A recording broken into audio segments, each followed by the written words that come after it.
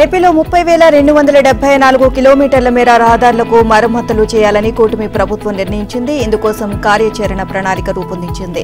రాష్ట్రంలో నాలుగు లక్షల ఏడు వేల నాలుగు వందల ముప్పై తొమ్మిది పాయింట్ నాలుగు ఒకటి కిలోమీటర్లు ఆర్ఎండ్బి రహదారులు ఉండగా ఇందులో ముప్పై వేల రెండు వందల డెబ్బై నాలుగు కిలోమీటర్ల రోడ్లను ఒకే ఏడాదిలో నిర్వహణ కింద బాగు చేయాలని నిర్ణయించడం పట్ల హర్షం వ్యక్తమవుతోంది. ఇక దీనివల్ల ప్రజలకు ఎంతో మేలు కలుగుతోంది అని అదేవిధంగా ఐదేళ్ళ తర్వాత తమకు కూడా చేతి నిండా పని దొరుకుతుంది అని ఆర్ఎన్బి వర్గాలు చెబుతున్నాయి. రోడ్ల మరమ్మతుల కోసం ఇప్పటికే ప్రభుత్వం ఎనిమిది వందల అరవై ఒక్క కోట్లు కేటాయించింది. గత వైసీపీ ప్రభుత్వ హయాంలో ఐదేళ్ళలో రోడ్డు నిర్మాణాలు నిర్వహణ పనులు వంటివి పెద్దగా లేవు. దీంతో ఆర్ఎన్బికి చేయడానికి పని లేకుండా పోయింది. గుంతలు పూడ్చే పనులు కూడా తూతు మంత్రంగా సాగాయి. ఇక దీంతో రాష్ట్రంలోని రోడ్లన్నీ గుంతలమయంగా మారాయి. ఇక ఆర్ఎన్బి మాన్యువల్ ప్రకారం ప్రతి ఏటా ఎనిమిది వేల కిలోమీటర్ల మేర రహదారుల నిర్వహణ మరమ్మతుల పనులు చేపట్టాలి. ఇందుకోసం వెయ్యి నుంచి పదిహేను వందల కోట్ల మేర ఖర్చు అవుతుంది ఉమ్మడి రాష్ట్రం నుంచి ఈ పాలసీ అమల్లో ఉంది. రెండు వేల పద్నాలుగు పంతొమ్మిది మధ్య తెలుగుదేశం ప్రభుత్వ హయాంలో ఈ విధానాన్ని అమలు చేశారు. గత టీడీపీ ప్రభుత్వ చొరవ వల్లే ఆరు వేల ఐదు వందల కోట్ల విలువైన ఎన్డీబీ రహదారుల ప్రాజెక్టు ఏపీకి వచ్చింది. సరిగ్గా ఆ ప్రాజెక్టు ఒప్పందాలు జరిగే సమయంలో జగన్ పార్టీ అధికారంలోకి వచ్చింది. ఆ తర్వాత ఒప్పందాలైతే చేసుకున్నారు కానీ వైసీపీ ప్రభుత్వం పనులు చేయలేదు. టెండర్లు అస్మదీయులకు కట్టబెట్టడంలో ముందున్న గత సర్కార్ పనులను మాత్రం చేయలేకపోయింది. ఐదేళ్ళ వ్యవధిలో నలభై వేల కిలోమీటర్ల రహదారుల నిర్వహణ చేపట్టాల్సి ఉంది కానీ మూడు వేల కిలోమీటర్ల రోడ్ల మరమ్మతులు కూడా చేయలేదు. వారం రోజుల పాటు లోకేష్ అమెరికా పర్యటన సూపర్ సక్సెస్ అయింది. పెట్టుబడులపై లోకేష్ ప్రతిపాదనలను పరిశీలించి త్వరలో గుడ్ న్యూస్ చెప్తాము అని పారిశ్రామిక దిగ్గజాలు సంకేతాలు ఇచ్చారు. గత ఐదేళ్ళుగా కోడిగుడ్ల కథలతో కాలక్షేపం చేసిన పాలకులను చూసిన జనం ప్రస్తుతం ఆంధ్రప్రదేశ్లో కొలువైన ప్రజా ప్రభుత్వం పనితీరుతో బేరీజు వేసుకుంటూ మళ్ళీ రాష్ట్రానికి మంచి రోజులు వస్తాయని హర్షం వ్యక్తం చేస్తున్నారు. రెండు వేల ఇరవై ఐదు జనవరిలో వరల్డ్ ఎకనామిక్ ఫోరం ఆధ్వర్యాన దావోస్లో జరిగే పెట్టుబడుల సమావేశం నాటికి లోకేష్ చేసిన తొలి ప్రయత్నం సత్ఫలితాలను ఇచ్చే అవకాశాలు కనిపిస్తున్నాయి. ఇక ఐదేళ్ళ పాటు అరాచక పాలనలో శిథిలావస్థకు చేరిన పారిశ్రామిక రంగానికి రాష్ట్ర విద్య ఐటీ ఎలక్ట్రానిక్స్ శాఖల మంత్రి నారా లోకేష్ అమెరికా పర్యటన ఊపిరిలు ఊదుతుంది. గత నెల ఇరవై ఐదో తేదీన అమెరికా పర్యటనకు వెళ్ళిన మంత్రి నారా లోకేష్ వారం రోజుల పాటు వంద మందికి పైగా దిగ్గజ కంపెనీల ప్రతినిధులతో భేటీ అయ్యారు. ముఖ్యమంత్రి చంద్రబాబు నాయుడు నేతృత్వాన రాష్ట్రంలో ప్రజా ప్రభుత్వం ఏర్పాటయ్యాక అమలు చేస్తున్న ఇన్వెస్టర్స్ ఫ్రెండ్లీ విధానాలను వివరించి రాష్ట్రంలో పెట్టుబడులు పెట్టాల్సిందిగా ఆహ్వానించారు. వారం రోజులు అవిశ్రాంతంగా సాగించిన సుడిగాలి పర్యటనలో ప్రపంచంలోనే దిగ్గజ కంపెనీలుగా పేరొందిన Microsoft Tesla Amazon Nvidia Apple Google cloud Perot group ఇక రేవేచర్ Salesforce Falcon X Equinix Zscaler తదితర కంపెనీల ప్రతినిధులతో భేటీ అయ్యారు. బీసీ జనాభా గణనపై జ- తెలంగాణ ప్రభుత్వం కీలక నిర్ణయం తీసుకుంది. బీసీల లెక్కలు తీసేందుకు బీసీ డెడికేటెడ్ కమిషన్ను ఏర్పాటు చేయాలి అని నిర్ణయించింది. సోమవారంలోగా కమిషన్ను ఏర్పాటు చేసి అందుకు సంబంధించిన జీవో జారీ చేయాలని ముఖ్యమంత్రి రేవంత్ రెడ్డి అధికారులను ఆదేశించారు. హైకోర్టు ఇచ్చిన ఉత్తర్వుల నేపథ్యంలో ఈ నిర్ణయం తీసుకున్నట్లు తెలియజేశారు. రాష్ట్రంలో బీసీ జనాభా లెక్కలను శాస్త్రీయమైన పద్ధతిలో తేల్చేందుకు డెడికేటెడ్ కమిషన్ను రెండు వారాల్లో నియమించాలి అంటూ హైకోర్టు అక్టోబర్ ముప్పైన ప్రభుత్వానికి ఆదేశాలు జారీ చేసిన విషయం తెలిసిందే. బీసీల జనాభాను లెక్కించే పనిని బీసీ కమిషన్కు అప్పగించడం చెల్లదని ఇందుకు రాజ్యాంగంలోని నిబంధనలు అంగీకరించవు అని పేర్కొంటూ మాజీ ఎంపీ బీసీ సంక్షేమ సంఘం జాతీయ అధ్యక్షుడు ఆర్ కృష్ణయ్య దాఖలు చేసిన పిటిషన్ను విచారించిన హైకోర్టు ఈ మేరకు ఉత్తర్వులు జారీ చేసింది. స్థానిక సంస్థల ఎన్నికల్లో రిజర్వేషన్లు కల్పించేందుకు వీలుగా లెక్కలు తేల్చేందుకు ప్రత్యేక కమిషన్ తప్పనిసరి అని స్పష్టం చేసింది. ఈ నేపథ్యంలో ముఖ్యమంత్రి రేవంత్ రెడ్డి జూబ్లీహిల్స్లోని తన నివాసంలో అందుబాటులో ఉన్న మంత్రులు ఉత్తమ్ కుమార్ రెడ్డి దామోదరు రాజనరసింహ శ్రీధర్ బాబు పిసిసి అధ్యక్షుడు మహేష్ కుమార్ గౌడ్తో పాటు ఉన్నతాధికారులతో సమావేశమయ్యారు. తెలంగాణ సంపద ప్రజలకు ఉపయోగపడాలి. కానీ పాలకులు పంచుకోవడానికి కాదు అని డిప్యూటీ సీఎం మల్లు భట్టి విక్రమార్క అన్నారు. బడుగు బలహీన వర్గాల కోసమే కోట్లాడి తెలంగాణ తెచ్చుకున్నామని బీఆర్ఎస్ పదేళ్ళ పాలనలో ఎస్ఎల్బీసీ సొరంగంలో ఒక్క కిలోమీటర్ అయినా తవ్వలేదని తాము ఇరవై నెలల్లో ఈ ప్రాజెక్టును పూర్తి చేస్తామని చెప్పారు. ఇక మంత్రులు ఉత్తమ్ కుమార్ రెడ్డి కోమటిరెడ్డి వెంకరెడ్డితో సూర్యాపేట జిల్లా హుజూర్ నగర్లో రెండు వందల కోట్లతో మోడల్ కాలనీ పునర్నిర్మాణ పనులు బట్టి పరిశీలించారు. ఇక గరిడేపల్లి మండలం గడ్డిపల్లిలోని సమీకృత పాఠశాల నిర్మాణానికి శంకుస్థాపన చేశారు. బీఆర్ఎస్ హయాంలో విద్యార్థుల మెస్ ఛార్జీలను రూపాయి కూడా పెంచలేదు అని విమర్శించారు. తాము దేశంలో ఎక్కడా లేని విధంగా యంగ్ ఇండియా సమీకృత గురుకుల పాఠశాలను నిర్మిస్తున్నామని అన్నారు. విద్యార్థులు ప్రపంచ స్థాయిలో పోటీ పడేలా వసతులు కల్పిస్తున్నామని తెలిపారు. గత ఏడాది బీఆర్ఎస్ సర్కార్ గురుకుల పాఠశాలలకు డెబ్బై కోట్లు కేటాయిస్తే తాము ఐదు వేల కోట్లు ఇచ్చి నిరుపేద పిల్లలపై చిత్తశుద్ధిని చాటుకున్నట్లు చెప్పారు. ప్రగతిశీల భావాలతో సీఎం రేవంత్ రెడ్డి పాటు మంత్రివర్గం రోజుకు పద్దెనిమిది గంటల పాటు పనిచేస్తుందని భట్టి తెలియజేశారు. ఇక ప్రభుత్వం పేదల చెంతకు వచ్చి పనిచేస్తుంది అని ఇందిరమ్మ అంటే పేదలకు భరోసా అని పేదలందరికీ ఇల్లు మంజూరు చేస్తామని ఉత్తమ్ చెప్పారు. సాగర్ ఎడమ కాలువ ఆయకట్టుకు నీరందించేందుకు కృషి చేస్తున్నట్లు తెలియజేశారు. బీఆర్ఎస్ నేతలు ప్రజల్లో అనుమానాలు సృష్టించి రాజకీయ లబ్ధి పొందాలని చూస్తున్నారని కోమటిరెడ్డి విమర్శించారు. వారు అభివృద్ధి చేయకపోగా ప్రజల సంక్షేమాన్ని విస్మరించారని తమ ప్రభుత్వం చేస్తున్న అభివృద్ధిని చూసి ఓర్వలేక విమర్శలు చేస్తున్నారని అన్నారు.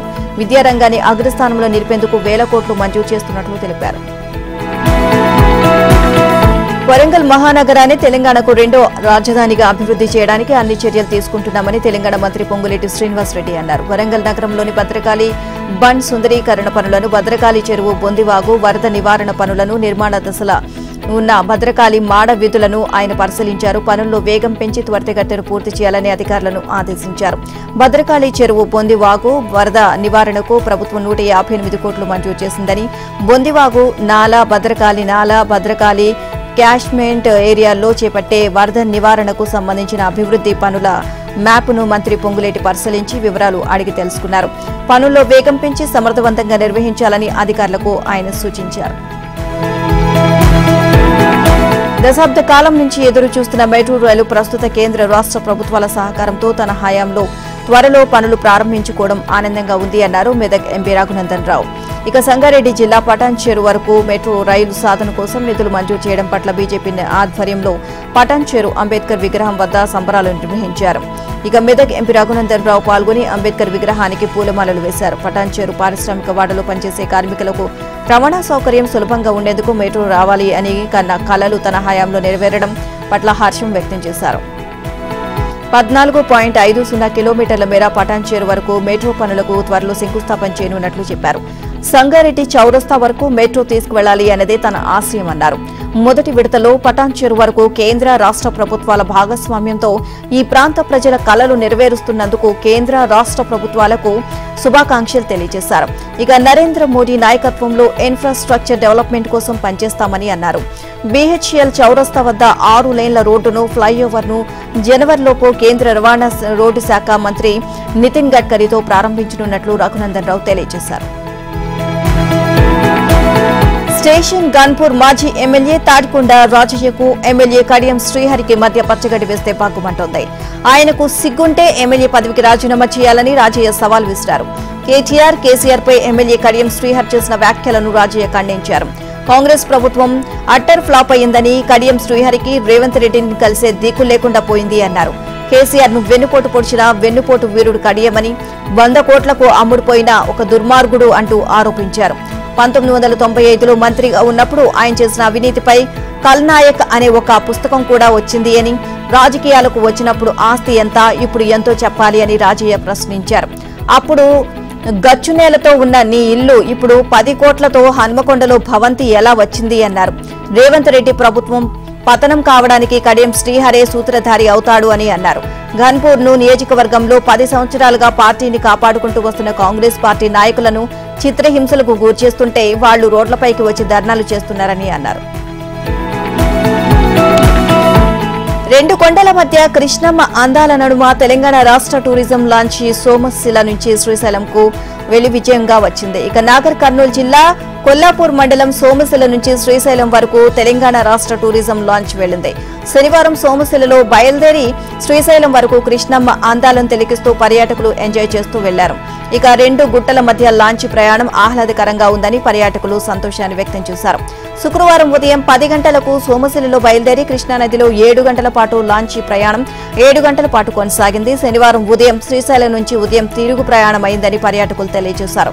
గత మూడు సంవత్సరాల తర్వాత లాంచ్ శ్రీశైలం వెళ్ళడంతో పర్యాటకులు రాష్ట్ర పర్యాటక శాఖ మంత్రి జూపల్లి కృష్ణారావుకు అభినందనలు తెలియజేశారు. మంత్రి ఆదేశంలో లాంచ్ వెళ్ళడం జరిగింది అని లాంచ్ పర్యాటక శాఖ అధికారులు తెలియజేశారు.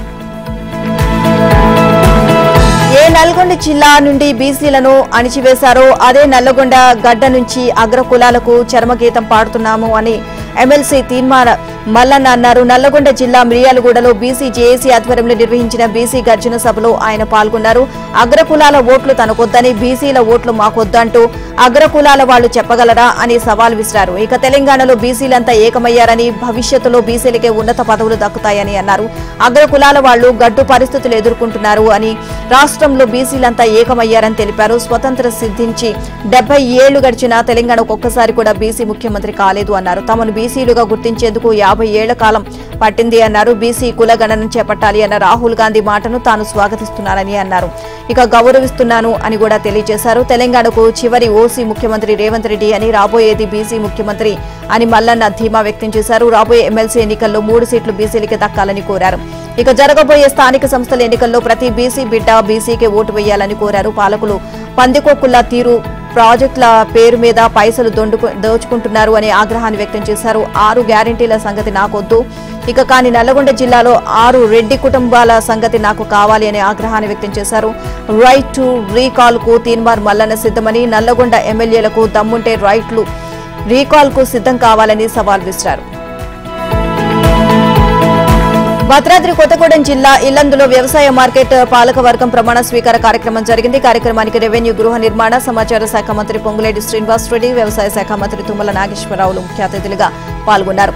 ఈ సందర్భంగా మంత్రి శ్రీనివాస్ రెడ్డి మాట్లాడుతూ బీఆర్ఎస్ నేతలు బావ బామ్మర్దులు కేటీఆర్ హరీష్ రావులు పోటీ పడి స్టేట్మెంట్ ఇస్తున్నారని అన్నారు. ఇప్పుడు ఎన్నికలు జరిగితే సెంచరీ కొడతారట అంటూ ఆయన ఎద్దేవి చేశారు. తెలంగాణ రాష్ట్ర ప్రజలు రెండుసార్లు కర్రు కాల్చి వాత పెట్టారని అన్నారు. పదిహేడు ఎంపీ స్థానాలు ఒక్క సీటు గెలవని వీరు ఏడు స్థానాలు డిపాజిట్లు గల్లంతైన వీరు. రేపు అసెంబ్లీ ఎన్నికలు పెడితే వంద సీట్లు గెలుస్తామని పగటి కలలు కంటున్నారని విమర్శించారు. బాబా బామ్మర్దులు పాదయాత్ర చేస్తామని చెబుతున్నారని పది సంవత్సరాలు పరిపాలన చేసి ప్రజల మధ్యకు రాలేదని కేసీఆర్ కేటీఆర్లపై విమర్శలు చేశారు. నాలుగు గోడల మధ్య నుండే పరిపాలన కొనసాగించారని కేసీఆర్ కేటీఆర్ను ఉద్దేశించి మాట్లాడారు. కాంగ్రెస్ పార్టీ తరపున నా వ్యక్తిగతంగా మీ పాదయాత్రను స్వాగతిస్తున్నానని పొంగులేటి చెప్పారు. ప్రజల సొమ్ము లక్ష కోట్ల పైన మీరు దోచుకున్నారు. ఆ సొమ్మును ప్రతి గ్రామ పంచాయతీకి రేషియో ప్రకారం పంచాలి అని ఆయన డిమాండ్ చేశారు. దీపావళి పండుగకు వెళ్ళిన నగరవాసుల స్వగ్రామాల నుంచి తిరిగి నగరం బాట పట్టారు. దీంతో ఆదివారం సాయంత్రం వాహనాలతో రోడ్లన్నీ కిక్కిరిసిపోయాయి సిద్దిపేట జిల్లా దుద్దేడ టోల్ ప్లాజా వద్ద ఆదివారం సాయంత్రం నుంచి సుమారు రెండు గంటల పాటు వందలాది వాహనాలు మూడు కిలోమీటర్ల మేర బారులు తీరాయి. ఇక వరుసగా దీపావళి పండుగ సెలవులు రావడంతో పండుగ అనంతరం మంచిర్యాల పెద్దపల్లి బెల్లంపల్లి గోదావరి ఖని కరీంనగర్ సిద్దిపేట నుండి చాలా మంది హైదరాబాద్ నగరానికి చేరుకుంటున్నారు. ఈ క్రమంలో రహదారులు టోల్ ప్లాజాల వద్ద వాహనాల రద్దీ నెలకొంది. టోల్ ప్లాజా వద్ద పలు అదనపు కౌంటర్ల ద్వారా వాహనాలు పంపినప్పటికీ వాహనాల రాకపోకలు విపరీతంగా ఉండడంతో ప్రయాణికులు ఇబ్బందులు పడ్డారు. సాధారణ రోజుల్లో ముప్పై వేల నుంచి ముప్పై ఐదు వేల వాహనాలు తిరుగుతున్నాయని దసరా పండుగ సందర్భంగా ఎనభై వేలకు పైగా వాహనాలు తిరుగుతున్నాయని టోల్గేట్ నిర్వాహకులు తెలియజేశారు. కార్తీక సోమవారం సందర్భంగా శైవ క్షేత్రాలన్నీ భక్తులతో కలకల్లాడుతున్నాయి తెల్లవారుజాము నుంచే మహిళలు పుణ్యస్నానాలు ఆచరించి శివుణ్ణి దర్శనం చేసుకుంటున్నారు. శైవ క్షేత్రాలన్నీ శివనామస్మరణతో మారుమోగుతున్నాయి. ఇక కార్తీక సోమవారం సందర్భంగా భక్తులు శివుడికి ప్రత్యేక పూజలు గోత్ర నామాలతో అభిషేకాలు చేస్తున్నారు. విశాఖ జిల్లా పెందుర్తి సరిపల్లిలో ఉన్న స్వయంపు పార్వతీ సమేత రామలింగేశ్వర స్వామి వారికి భక్తులు నేరుగా స్వామివారికి పాలాభిషేకాలు నిర్వహిస్తున్నారు. మహిళలు ఆలయాల ముందు కార్తీక దీపాలు వెలిగించి తమకు ఏ ఆపద రాకుండా చూడాలని ప్రార్థిస్తున్నారు. శివకేశవులకు అత్యంత ప్రీతికరమైంది కార్తీకం. అందులోనూ సోమవారం అంటే శివుడు ఎంతో ఇష్టం. అటు కార్తీక మాసం మొదటి సోమవారం కావడంతో పెందుర్తిలో ఉన్న శివాలయాలకు భక్తులు పోటెత్తారు. పంచరామాల్లో మొదటిదైన అమరావతి బాలచాముండి సహిత రామలింగేశ్వర స్వామి దేవస్థానంలో కార్తీక మాసం మొదటి సోమవారం కావడంతో తెల్లవారుజాము నుంచి నది స్నానం ఆచరించి అమరేశ్వర స్వామిని భక్తులు దర్శించుకున్నారు. ఇక పశ్చిమ గోదావరి జిల్లా పాలకొల్లు పంచరామ క్షేత్రం శ్రీ క్షీర రామలింగేశ్వర స్వామి వారి ఆలయంలో తెల్లవారుజాము నుంచి అధిక సంఖ్యలో భక్తులు దర్శించుకుని దీపారాధన కార్యక్రమాలు నిర్వహించారు. భక్తులు నియమనిష్టలతో స్వామివారిని దర్శించి దీపారాధన కార్యక్రమాలు చేస్తే సకల కోరికలు నెరవేరుతాయని అర్చకులు చెబుతున్నారు రైతులు వ్యవసాయ పొలాల్లో మరియు ఇంటి దగ్గర కట్టేసిన పశువులను దొంగతనం చేస్తున్న ముఠాను పట్టుకున్న సంఘటన మహబూబ్ నగర్ జిల్లా దేవరకద్ర మండల కేంద్రంలో చోటు చేసుకుంది. లింగాల నందికొట్కూరు కోరుకొండ కొల్లాపూర్ ప్రాంతాలకు చెందిన దొంగల ముఠా దేవరకద్ర తాండూరు తిమ్మాజిపేట జడ్చెర్ల కల్వకుర్తి భోత్పూర్ ప్రాంతాల్లో పశువులను దొంగతనాలు చేసేవారిని డీఎస్పీ వెంకటేశ్వర్లు తెలియజేశారు. ఒక ప్రాంతం నుండి పశువులు దొంగతనం చేసి మరో ప్రాంతంలో అమ్ముతూ సొమ్ము చేసుకుంటున్నారని తెలిపారు. గత వారం రోజులుగా ఈ ముఠాను పట్టుకోవడానికి దేవరకద్ర పోలీసులు ప్రయత్నిస్తున్న నేపథ్యంలో శనివారం సాయంత్రం దేవరకద్ర ఎస్ఐ నాగన్న తన సిబ్బందితో కలిసి అమ్మాపూర్ ఎక్స్ రోడ్ వద్ద వాహనాలు తనిఖీ చేస్తుండగా రాయచూర్ వైపు ఒక బొలేరో వాహనంలో రెండు ఎద్దులు తీసుకుని వెళ్తుండగా అనుమానం వచ్చి వివరాలు అడగడంతో ఐదు మంది నేరస్తులు పారిపోవడానికి ప్రయత్నించారు. దీంతో దేవరకద్ర పోలీసులు చాకచక్యంగా నిందితులను పట్టుకున్నారు. నేరస్తులను విచారించగా తాము పలు ప్రాంతాల్లో పశువులను దొంగతనం చేసి రాయచూరులో అమ్ముతాము అని తెలియజేశారు. జార్ఖండ్లో బీజేపీ అధికారంలోకి వస్తే ఉమ్మడి పౌర స్మృతిని అమలు చేస్తామని కేంద్ర హోంమంత్రి అమిత్ షా ప్రకటించారు. ఈ నెలలో అసెంబ్లీ ఎన్నికలు నిర్వహించనున్న జార్ఖండ్లో సంకల్ప పత్ర పేరిట బీజేపీ ఎన్నికల మేనిఫెస్టోను విడుదల చేశారు. కేంద్ర మంత్రులు శివరాజ్ సింగ్ చౌహాన్ సంజయ్ సేత్ అసోం సీఎం హిమంత బిశ్వ శర్మ తదితరులు పాల్గొనే కార్యక్రమంలో అమిత్ షా మాట్లాడుతూ జార్ఖండ్ భవిష్యత్తుకు ఈ ఎన్నికలే కీలకమని అన్నారు. పూర్తి అవినీతి ప్రభుత్వం కావాలో లేక మోదీ నాయకత్వంలో అభివృద్ధి మార్గంలో పయనించే బీజేపీ ప్రభుత్వం కావాలో జార్ఖండ్ ప్రజలు నిర్ణయించుకోవాలని సూచించారు. జార్ఖండ్కు గుర్తింపు చొరబాటుదారుల నుంచి భూమి మహిళల రక్షణ బీజేపీ లక్ష్యమని చెప్పారు. జార్ఖండ్లో ఉమ్మడి పౌర స్మృతి అమలు చేస్తామని అయితే దాని నుంచి గిరిజనులకు మినహాయింపు ఇస్తామని మేనిఫెస్టోలో పేర్కొన్నారు.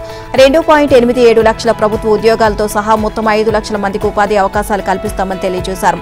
ఐదు వందలకే వంట గ్యాస్ సిలిండర్ ఇస్తామని దీపావళి రాఖీ పండుగలకు పూర్తిగా ఉచితంగా రెండు గ్యాస్ సిలిండర్లు ఇస్తామని పేర్కొన్నారు. గోగో దీదీ స్కీమ్ కింద మహిళలకు నెలకు రెండు వేల వంద రూపాయలు ఇస్తామని తెలియజేశారు. పరిశ్రమలు మైనింగ్ వల్ల నిర్వాసితులైన వారి పునరావాసానికి ప్రత్యేక కమిషన్ ఏర్పాటు చేస్తామని అమిత్ షా హామీ ఇచ్చారు. మహిళలను వేధిస్తున్న చొరబాటుదారులను తలకిందులుగా వేలాడదీస్తాము అని అమిత్ షా హెచ్చరించారు. జార్ఖండ్లో హేమంత్ సోరెన్ ప్రభుత్వం చొరబాటుదారులకు ఆశ్రయం కల్పించడం ద్వారా గిరిజనుల భద్రతపై రాజీ పడింది అని విమర్శించారు.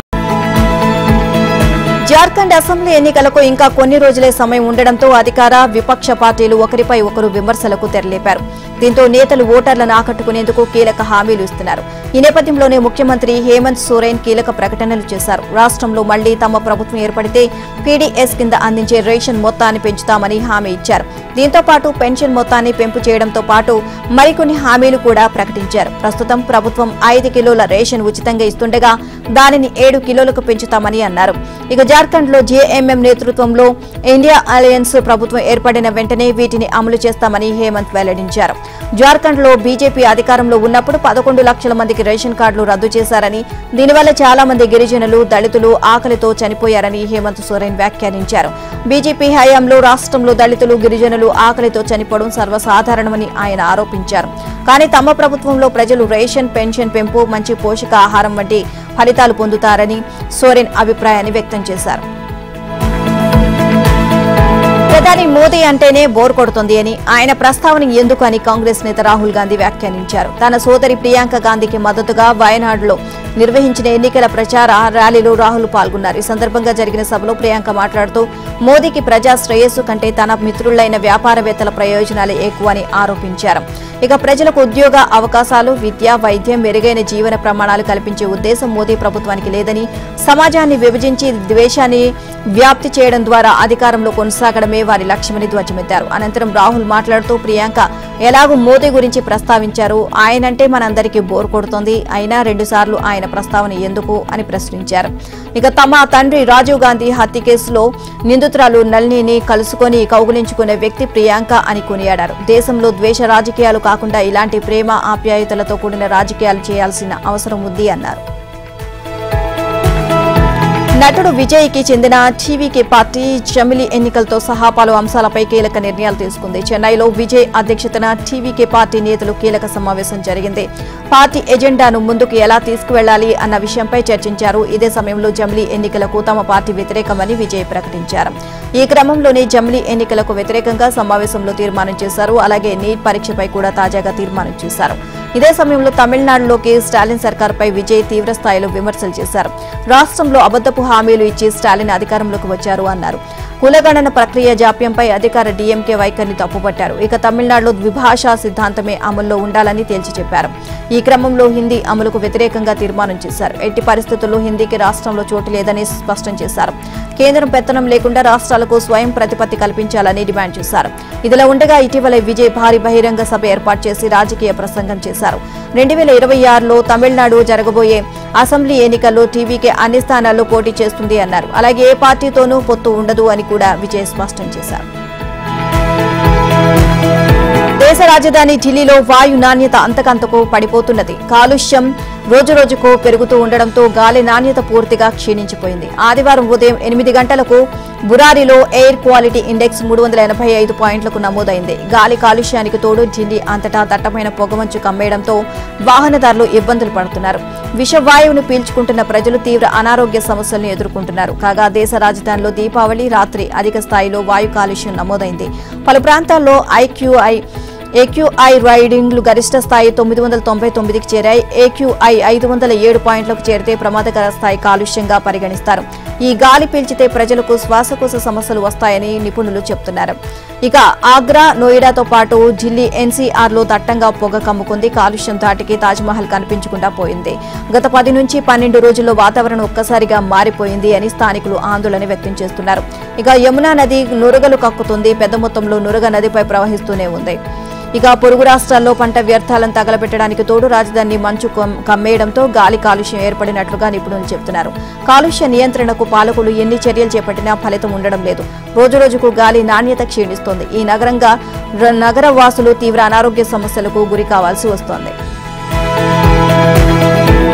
ఉత్తరప్రదేశ్ సీఎం యోగి ఆదిత్యనాథ్ను చంపేస్తామని బెదిరించిన కేసులో ముంబై పోలీసులు పురోగతి సాధించారు. ముంబై నగరానికి సమీపంలోని తానే నగరంలో నివసిస్తున్న ఫాతిమా ఖాన్ను అరెస్ట్ చేశారు. పది రోజుల్లో యూపీ సీఎం యోగి ఆదిత్యనాథ్ తన ముఖ్యమంత్రి పదవికి రాజీనామా చేయకుంటే బాబా సిద్దికి మాదిరిగా చంపేస్తామని బెదిరింపు ఫోన్ కాల్ వచ్చింది. పోలీసులు ఫాతిమా ఖాన్ను అరెస్ట్ చేసిన విచారించిన తర్వాత తన ఫోన్ నెంబర్ నుంచి బెదిరింపు ఫోన్ కాల్ వచ్చిందని ఆమె అంగీకరించింది.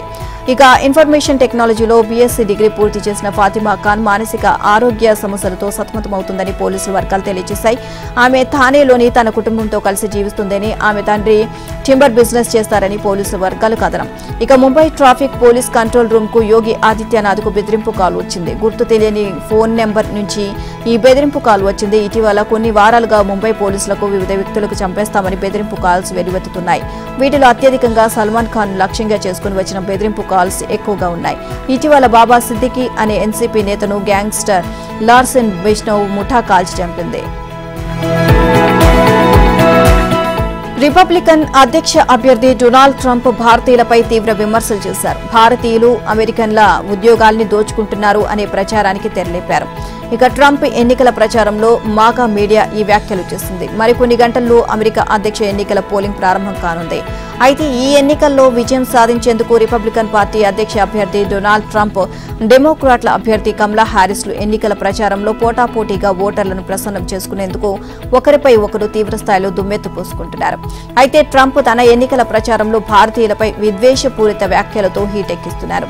అందుకు తన ట్రంప్ మీడియా అండ్ టెక్నాలజీ గ్రూప్కు చెందిన మేక్ అమెరికా గ్రేట్ అగైన్ మీడియాను ఉపయోగిస్తున్నారు. విజయమే లక్ష్యంగా భారతీయులపై ట్రంప్ తరపున ఈ విధమైన వ్యాఖ్యలు చేయడం భారతీయులను విస్మయానికి గురి చేసింది. ఇక తాజాగా మాగా మీడియా ట్రంప్కు మద్దతు పలికిన పలు ఆర్థికవేత్తలతో ట్రంప్ తరపున ఎన్నికల ప్రచారం నిర్వహించింది.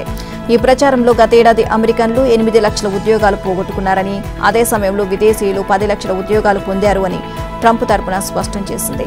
అమెరికా లేబర్ మార్కెట్ విదేశీ కార్మికులు ప్రభుత్వ బ్యూరోక్రాట్లకు తాత్కాలిక ఏజెన్సీగా మారుతుందని మాగా మీడియా ఈవెంట్లో ట్రంప్ మద్దతుదారుడు ఆర్థికవేత్త ఈజే యాంటోనీ ఆరోపించారు. మరోవైపు అమెరికాలో ఉద్యోగాలు చేస్తున్న భారతీయ ఐటీ ఉద్యోగులపై అమెరికన్లు విద్వేషపూరితంగా వ్యవహరిస్తున్నారు. శాన్ ఫ్రాన్సిస్కో ఫిన్టెక్ ఎగ్జిక్యూటివ్ ఫీల్ మొహర్నోట్ మాట్లాడుతూ టెక్సాస్లో భారతీయులు సేవలు అందిస్తున్న ఓ బ్యాంకుపై విమర్శలు గుప్పించారు.